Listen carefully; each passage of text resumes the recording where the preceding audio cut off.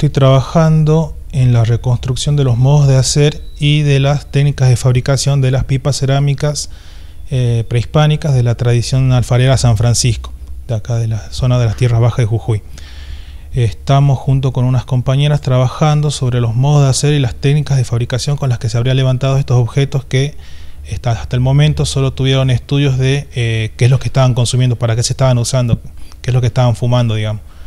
Nuestro trabajo en la actualidad está enfocado justamente en ver cómo se estaban fabricando, porque es un área poco explorada dentro de la cerámica, muy poco explorado dentro de la arqueología y totalmente inexplorado en lo que es acá en las tierras bajas argentinas. La investigación que estamos llevando adelante tuvo una primera etapa, la cual consistió en recuperar distintos ejemplares de pipa San Francisco, de la tradición alfarera San Francisco,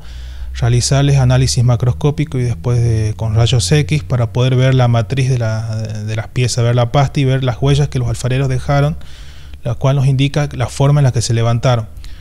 Eh, a partir de estos primeros resultados realizamos unas hipótesis, unos primeros planteos, los cuales tenían que ser sí o sí ser contrastados con un trabajo experimental, es decir, realizar unas réplicas a las cuales se, somete, se someten digamos, también al análisis macroscópico y después a,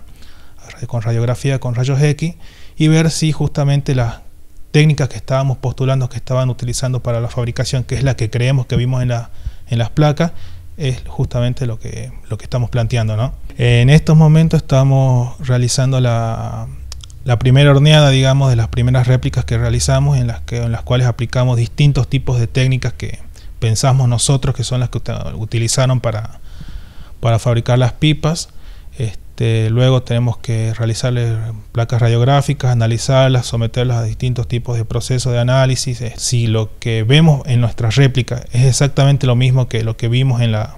en las piezas arqueológicas, podríamos decir que estamos aproximándonos o dimos en el clavo con las técnicas de fabricación, lo cual sería